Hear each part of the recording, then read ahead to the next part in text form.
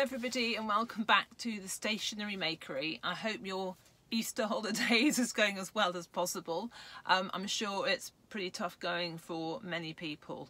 Um, but if you are stuck for things to do, then look no further because today I've got a project. It's an upcycling project using uh, old milk cartons, a plastic type that we get all of our milk in these days. And that's what we're going to make uh, really nice little pots that you can put flowers in perhaps or use in other ways. It's completely up to you.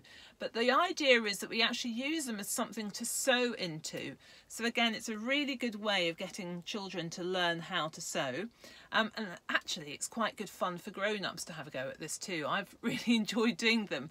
Um, the top part is made um, using a blanket stitch and I've punched the holes in here with a hole punch, just pushing the hole punch down as far as I could go. Um, the other bit I actually sewed with a normal needle, but I made the holes a bit bigger as I went by pushing a, a bradawl through there. And the bradawl is something you can make holes with, like that one there.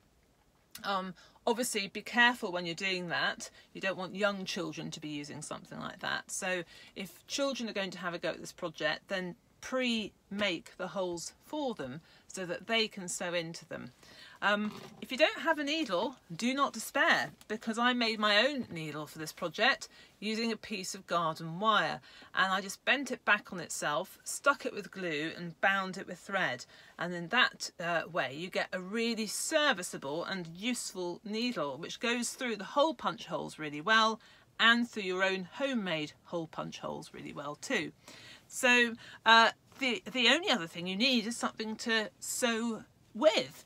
Um, and the thread that I've used in this instance is plastic bag.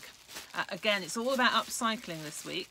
So you take your plastic bag, fold it into quarters, like that.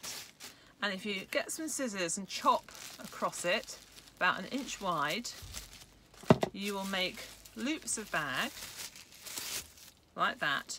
And if you loop them together, then you will make nice, long, usable pieces of plastic bag thread.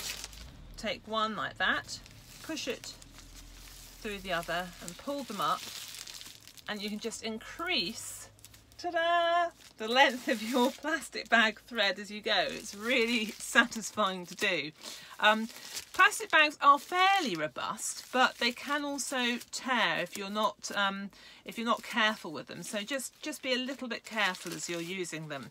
Um, I am going to put uh, instructions for making this on my blog maryjanemakes.co.uk craft in quarantine and I will tell you how to make it. But it really is good fun and you can make it quite basic. You can get a bit more advanced and do this sort of embroidery if you want to. It's a little bit like raffia work on the vintage raffia bag. So I think the possibilities are sort of endless really. But they are really nice for putting plants in.